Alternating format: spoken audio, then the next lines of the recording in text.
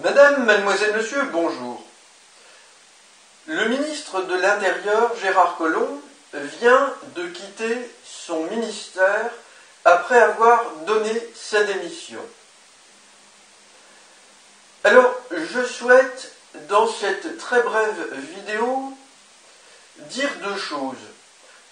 Premièrement, je souhaite vous faire part d'une idée qui me semble intéressante concernant le drame des banlieues qui sont occupées, pour ainsi dire, par des dangereux trafiquants de drogue.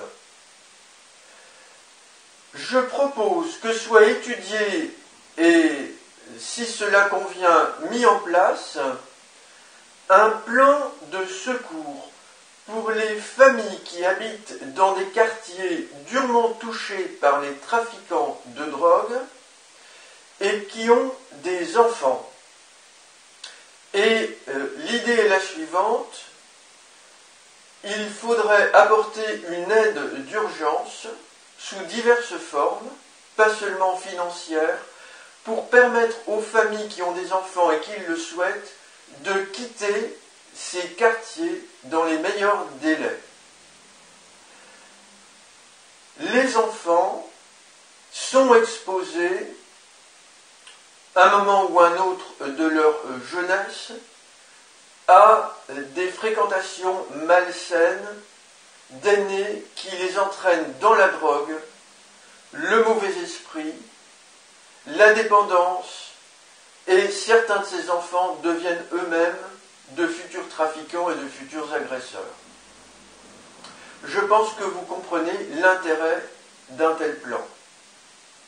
Alors, dans un tout autre domaine, je rappelle que je suis lanceur d'alerte depuis 2008 et je voudrais dire que parmi les réformes que j'attends impatiemment au ministère de l'Intérieur et qui dépendent du bon vouloir de notre président de la République, ou de notre Parlement.